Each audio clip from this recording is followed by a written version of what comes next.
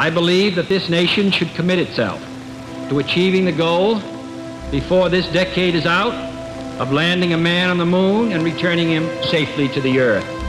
Picking up some dust. In the 1960s, an impossible dream came true when human beings walked on another world. The Eagle has landed. In all, 24 Americans went to the moon. But it took an unseen army of over 400,000 engineers and technicians to make it possible. This is the story of the men and women who built the machines that took us to the moon.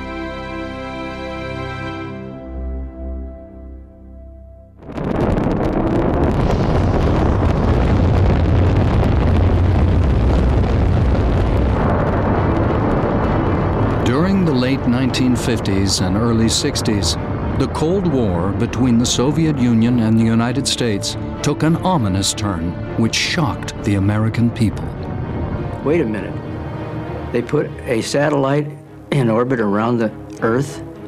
I think I said something like, golly gee, son of a gun. I didn't really say it that way, but similar. A group of us actually climbed to the top railings of the test stands and watched Sputnik go over as a white dot going across the sky like a meteor. And of course, all it was doing was going beep, beep, beep, beep. but hey, they put it up there, you know. The new strategic high ground was space.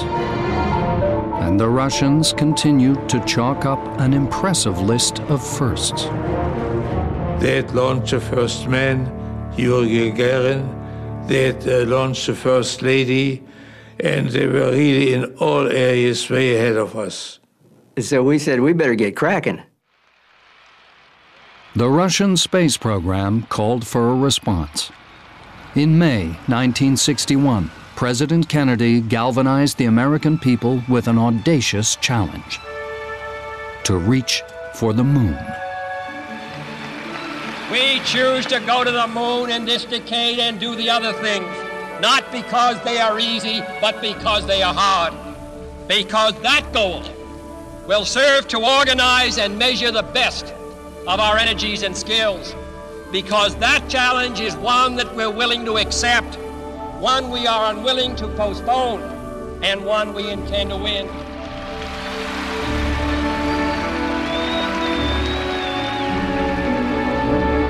I was so proud of him, I was jumping out of my pants practically. I mean, uh, and I was so excited because I knew I was going to be able to be a part of it. I didn't realize the magnitude of the challenge uh, or the, some of the technical requirements, but I still felt that, you know, we could do anything at that time. We were all young. We didn't know what failure meant, and we knew we could do it. Reality sets in for a moment and say, well, how are we going to do that? 10 years? That's a short time. And so uh, it was a mixture of exhilaration and, and um, maybe even depression to think about how you're going to do this. To many, Kennedy's goals seemed almost impossible. But the president knew more than he was letting on. The key to his confidence lay in a small town in Alabama.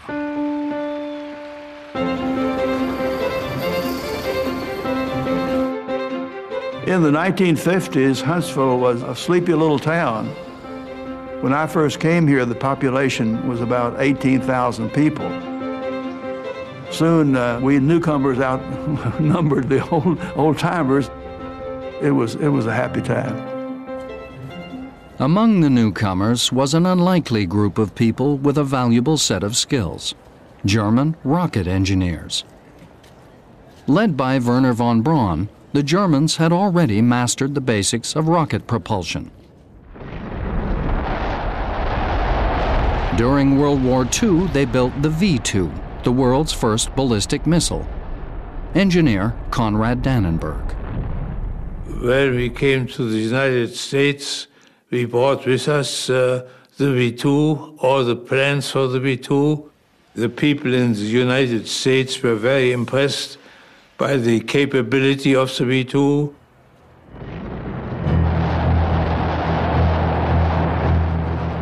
This technology was very important for the growth of the space program because these engines are more efficient, they can be controlled, and you really have a capability to work with your engines during your flight. The German people who came over were indeed very skilled people. They were all of them dedicated to rocketry and wanted to continue that, not from the standpoint of having rockets to launch on enemies, but the whole thing behind their thoughts was going, uh, going into space, going to the moon. With the Russians leading the space race and America desperate to catch up, von Braun saw an opportunity to fulfill his lifelong dream. Von Braun was always thinking in the back of his head, we're going to the moon. That's what he wanted to do. And it infused everybody. We all wanted to go to the moon. All you had to do was talk to him five minutes and you were ready to go. He was very charismatic. You know, he could sell a refrigerator to an Eskimo. Von Braun turned his persuasive skills on the new president. And that, of course, was what eventually led uh, President Kennedy to announce a trip to the moon I'm sure he had been influenced by Wernher von Braun. Even before Kennedy's announcement, von Braun's team was designing a family of rockets they called Saturn. First on the pad was the Saturn I, almost 200 feet tall and with a thrust of 1.5 million pounds. When it lifted off, the engineers could not suppress their excitement. Ignition. All engines running. Thrust commit. Launch commit. Liftoff. Go. Go. Go, man.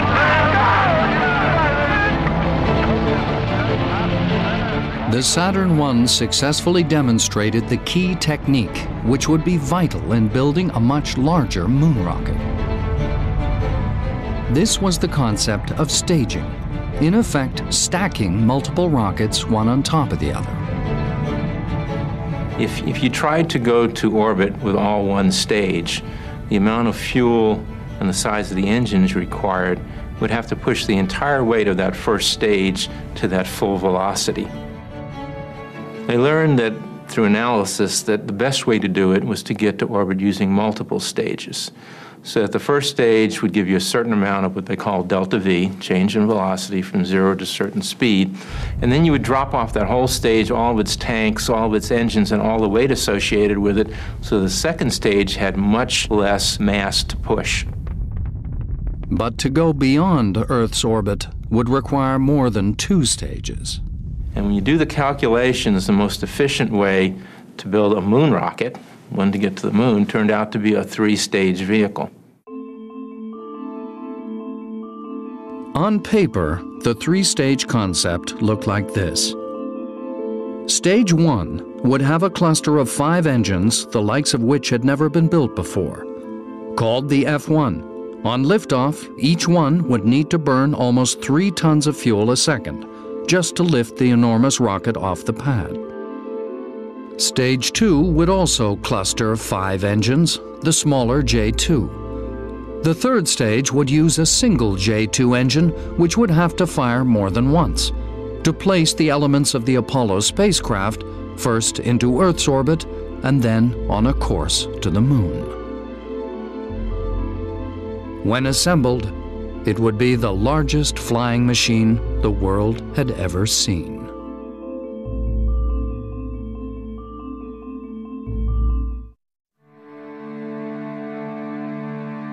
On paper, the Saturn V was capable of taking men to the moon. But could drawings be successfully turned into reality? The first stage of the giant rocket would be the largest. It needed to provide the initial thrust to lift the vehicle off the pad to a height of around 35 miles. The cluster of F1 engines designed to do this would require a huge leap forward in technology.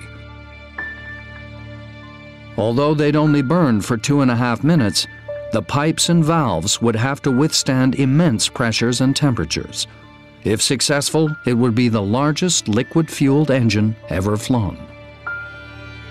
To oversee its production at the newly formed Marshall Space Flight Center in Huntsville, von Braun turned to a young engineer called Sonny Morea. He gave me the responsibility for a $1 billion program. 1 billion in those dollars, not today's dollars. And he picked on this young guy who was 28 years old, didn't have very much experience, and gave me the challenge of being the manager of that program.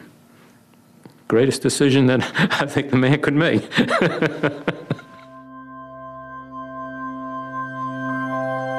Building such a large rocket engine would also require a test facility on a similar scale. When you fire the, the first stage engines of the Saturn V, you develop seven and a half million pounds of thrust. That's tremendous kinetic energy coming out of those exhausts. And of course, you couldn't let it uh, project the exhaust directly in the ground because pretty soon your test stand would fall over. So instead, you use a flame bucket to catch the exhaust gases and then deflect them outward. The huge amounts of energy unleashed posed problems for those living nearby. Under certain weather conditions, the shock waves from the engines would become trapped close to the ground and travel a long way cross country. In fact, the first few firings, we were breaking windows in downtown Huntsville, which is over the hills to the rear here, and uh, we knew we couldn't keep doing that very long or we're going to lose the support for the space program in the city of Huntsville. But the tests had to continue, and they soon revealed something unforeseen was happening as the fuel burned in the combustion chamber. One of the big problems we ran across was the problem of combustion instability. And by that, we were dealing with, with uh, rotation of the flame of the burning process within the thrust chamber of like 2,000 cycles a second. The rapidly rotating flame could destroy the whole engine in a matter of seconds. It was a showstopper, there was no question about it. We had to find a way to make the engine run stable. The thing that, that was so overwhelming to me was that unless we solved this problem, we would not be going to the moon with a man. Combustion instability took thousands of man hours and many agonizing months to solve. Keep in mind that back in those days, uh, we were designing rocket engines basically with slide rules. The answer lay in the way the fuel was injected into the combustion chamber. The solution to the problem is shown by that series of copper baffles that you see on the face of the injector. And that particular arrangement baffled the oscillations so that we now had stable combustion. So it was a very nice, unique solution to a very serious problem that was a big showstopper in the program, had it not been solved.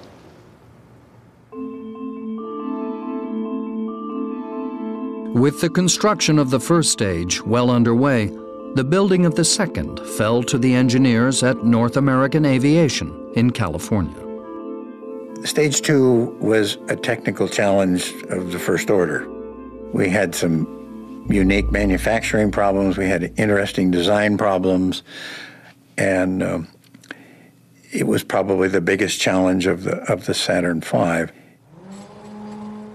The main headache for the Stage 2 team was that the Apollo spacecraft, the command and lunar modules sitting on top of the Saturn V, kept getting heavier as their designs evolved. That inevitably meant that the rocket below them had to be made lighter. One of the engineers feeling the pressure was George Phelps. When they gave us a weight reduction problem, we said, well, we'll take some out of the first stage, some out of the third stage, and the second stage. No, the, eh, the first stage is too far along, and so is the third stage. And so we got to take it out of the second stage. A radical solution was needed, to shed weight from the second stage. Normally, two separate tanks stored the liquid oxygen and liquid hydrogen fuels, with a temperature difference between them of over 120 degrees Fahrenheit. At both ends of each tank was a strong, relatively heavy, dome-shaped bulkhead. So to save weight, somebody came up with the idea to eliminate one bulkhead. This was the biggest, I think, the biggest challenge on that stage to have one bulkhead to separate the two fuels. The stage would now have only one tank, and the fuels would be separated by just one divider, known as the common bulkhead. This arrangement had a double benefit. It got rid of one of the heavy bulkheads and it reduced the overall length of the stage. But it also meant that two liquids at vastly different temperatures were right next to each other. And we had a, a divider that was about that thick. That was the most difficult problem that we had to solve, but we did it because engineers can just about do anything.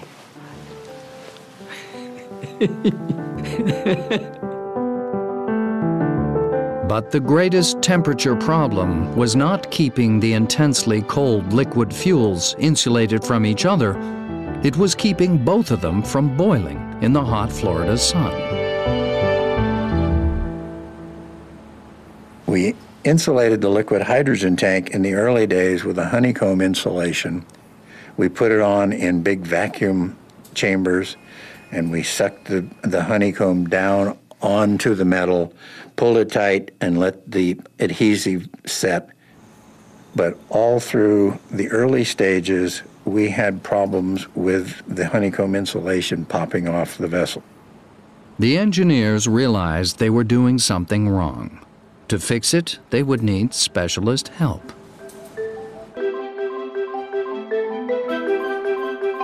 We were manufacturing the vehicle at Seal Beach in Southern California and Seal Beach is a big surfing town. And we found that the surfers had been using honeycomb insulation to make their surfboards, and they were very skilled at using it. And we finally started hiring the surfers, and they did a great job with it. The only downside of those guys was that when the surf was up, there was a big absentee problem. They were out there doing their trick. But they were a great bunch of guys, and they, they really brought a unique skill to the space program that I don't think we appreciated at the time until it was pretty well over.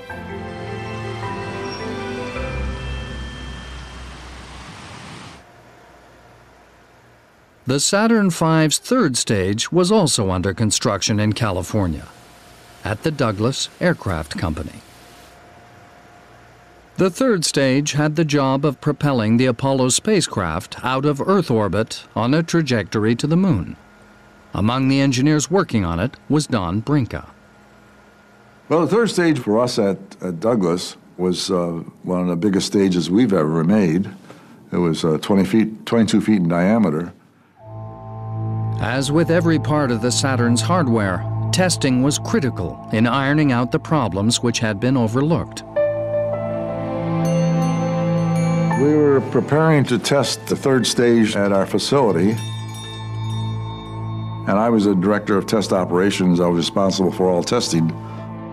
I was uh, sitting at my table in the control room, monitoring all the other events that were going on and watching for any problems and following the countdown.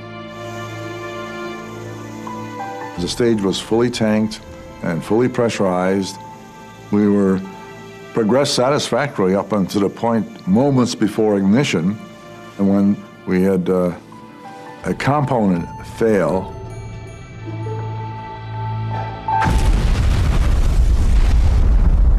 It was not hard to tell something was wrong. The whole blockhouse shook, everything rattled, and the screens all went white, and so we knew there was a major calamity. It was. Um, it was kind of a, a heart-stopping moment when that occurred, and we knew that the work was cut out for us to get this one resolved.